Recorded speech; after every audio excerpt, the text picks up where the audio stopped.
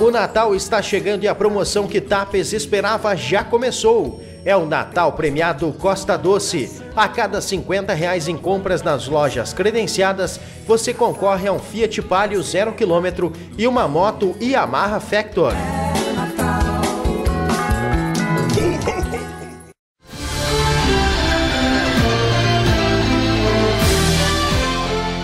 Desde o dia 1 de outubro deste ano, o atendimento no Banrisul de Tapes ficou dificultoso depois que ladrões explodiram os caixas eletrônicos da agência.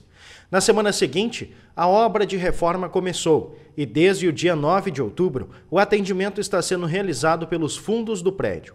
A partir dessa data, os clientes do Banrisul podiam realizar alguns atendimentos em Tapes ou então optar pela agência de Sentinela do Sul, município vizinho. Mas no dia 21 de novembro, ladrões explodiram a agência de Sentinela do Sul e deixaram o prédio destruído.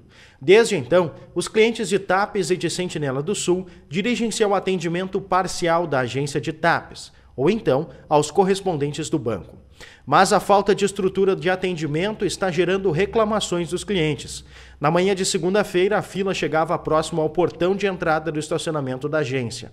A reclamação principal é a falta de sombra e a demora no atendimento. Mas parece que não são só os clientes que estão irritados com os problemas da agência. Enquanto nosso cinegrafista fazia imagens do local, um dos funcionários do banco impediu o trabalho dele, empurrando inclusive a nossa câmera para baixo. Nossa redação entrou em contato com o gerente da agência, que pediu desculpas pelo fato e encaminhou para o departamento de comunicação do banco. Mas até o fechamento dessa edição, não obtivemos retorno com a previsão da retomada do funcionamento normal do banco em TAPES. A única orientação é que os clientes deem preferência para os correspondentes bancários e apenas devem se dirigir à agência quando realmente for necessário.